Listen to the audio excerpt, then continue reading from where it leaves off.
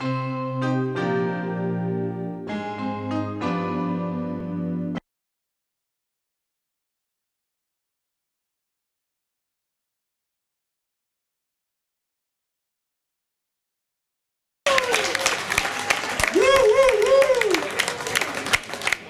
is a happening, happening rocking country, let me tell you.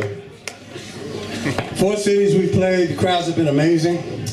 And tonight, I think, is going to top them all. And we're going to dedicate this song to uh, everybody here because I think it was really popular at one time. And it was written by Sonny Bono. And it was adapted from a great soundtrack long ago from The King and I.